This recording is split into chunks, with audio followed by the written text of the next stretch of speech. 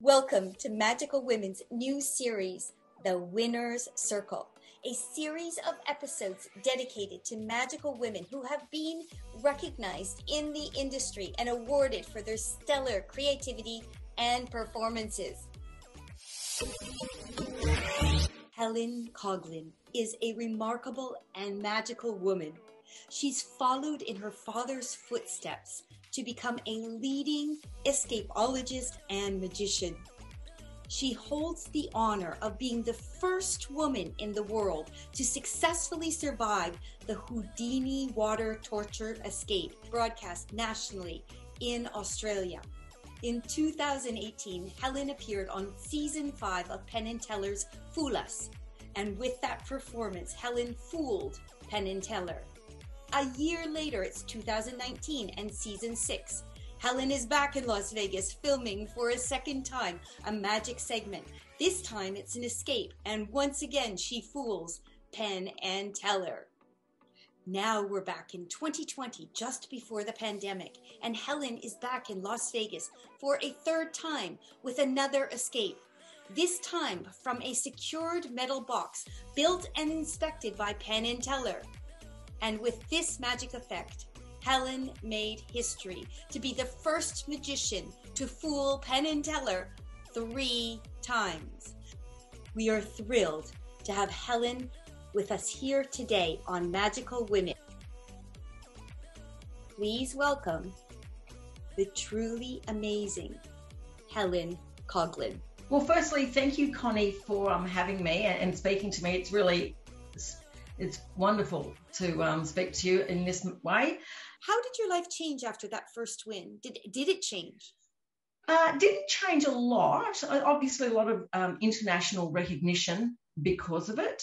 Mm-hmm. Um, a lot of promotion here in Australia as well. Um, I think within about half an hour of it going air to air in America, I got a, um, a con- I got a call from someone America's Got Talent wanting to know if I wanted to go on their show, which didn't really appeal to me. I don't have a show or anything to promote, so it was like, nah, no, thank you anyway. Did you receive any other offers? With the second one, I think people all of a sudden do take a little bit more notice and go, mm, she's fallen twice. She can do magic. She can also do escapes.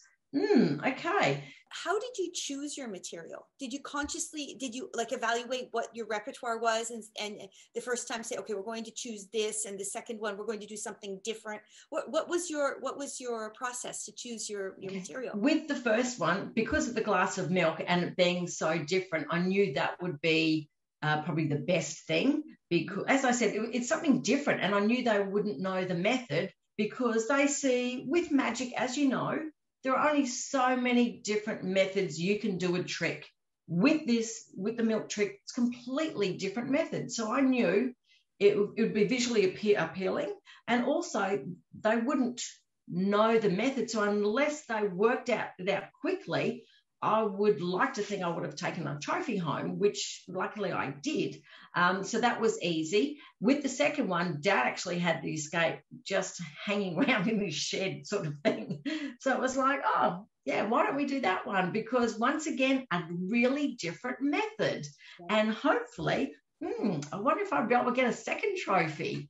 And then that's when you work with the producers, and they had the idea of also um, because when, when you are escaping, as I said, you're behind a cover, there is a little bit of dead space that you have to fill in.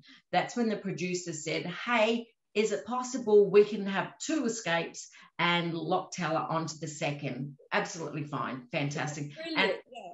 yeah, and also look, Teller was the he was the he's such a good sport for that. He he was great. Between the first and the second, you actually had an appearance at the Rio in Las Vegas. Uh, at that yes. is that correct? Yes, that's right. Yeah, I forgot about that. Yes, if you fool them, you get the opportunity to go back and perform on stage with them. So filming was in March, and the live show I went back in October and performed on stage with them, and it was just mate, I just had a ball with that one. No nerves or anything. It was fun. It was so much fun. I loved it. I got to close the show. So I actually tell everyone they were my best opening act I've ever had. Fabulous. And you're living the dream, you know, it's just. Yeah, oh, abs- yeah, exactly. It doesn't get much better than that. Doesn't get much better. There is no name Penn and Teller fear more than this one. Boys, here's Helen Coghlan. Thank you.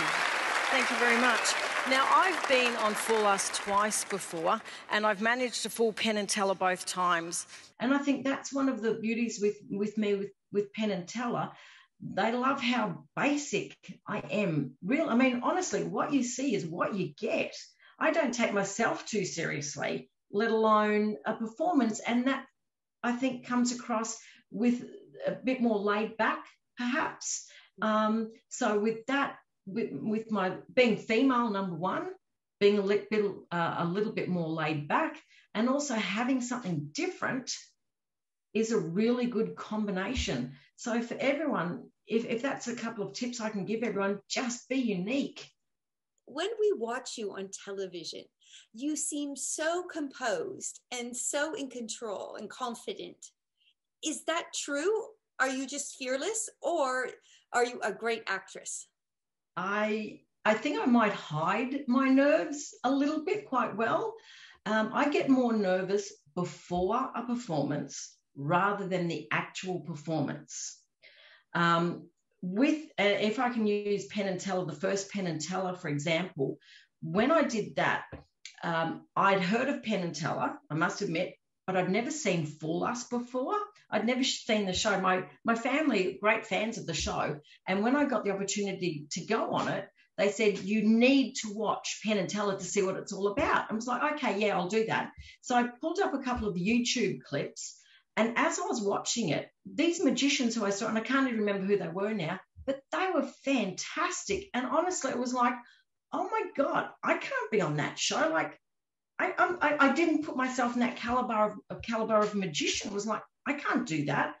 And I got really nervous watching it. So I, I didn't watch anymore. It was like, no, I can't watch anymore. So when I did the first Penn and Teller, although I had a, a few nerves before I went out on stage, because I really didn't have too much of knowledge of the show, I wasn't starstruck by Penn and Teller by any means. So when I walked out on stage, I was really comfortable and I looked around and you see Penn and Teller was like, oh, hi. And I saw my family because my family had come from Australia. So I saw them as well and was like, oh, I don't want this to sound cocky or arrogant by any means, but it was like, yeah, I've got this. Yeah, yeah that's fine. I feel comfortable. I feel comfortable. And as I said, I don't mean to, for that to sound arrogant by any means, but I was just, yeah, I'm really comfortable. Let's get on with it.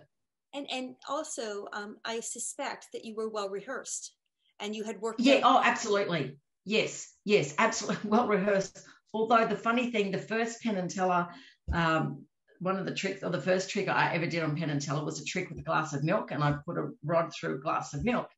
Um, a couple of days before, had, for that during rehearsals, the milk kept on um, spilling. The trick didn't actually work for me. Oh. So I went in there not a 100% confident that it would actually work. But when it did, it was like, wow, it worked. Phew. Wow. It was wow. so quick. I'm glad I didn't blink. I'm glad it worked. Yes. now, um, just for the viewers, that that effect, it's, it's a really remarkable. I've never seen an effect like it. It's very interesting. Once again, that is something that Dad came up with, and I like the idea of that because it was so simple, so visual, and it's so visually appealing. And honestly, that is the only one of its kind in the world. The thing with the escapes, okay, and this is what gets me every time. With an escape, it is it's it's completely it's a completely different genre to visual magic. With an escape, you have to be covered by something, otherwise, people will see how you do it.